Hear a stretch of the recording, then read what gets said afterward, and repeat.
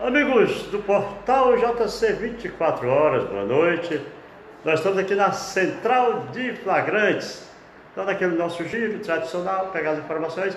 A informação que temos é que o homem que foi preso na tarde de hoje com a pistola já foi liberado. A gente não tem informação concreta, mas baseado na lei, é, deve ter sido arbitrada a fiança e ele ter sido liberado em seguida, porque pelo calibre da arma e outros princípios da lei, é, cabe fiança nesse caso. Então, Fredson da Silva Santos, de Santana, aliás, de, de 42 anos de idade, foi preso na tarde de hoje com uma pistola 75 e 14 munições, já encontra-se em liberdade. A única pessoa recolhida no momento é o senhor de 71 anos, conhecido como Vicente Reis, a acusação prática de furto. Isso na noite de ontem, ele está aqui na central de flagrante. O giro de notícias para você que acessa o JC 24 horas. Portal JC 20. Aí ah, tem mais uma.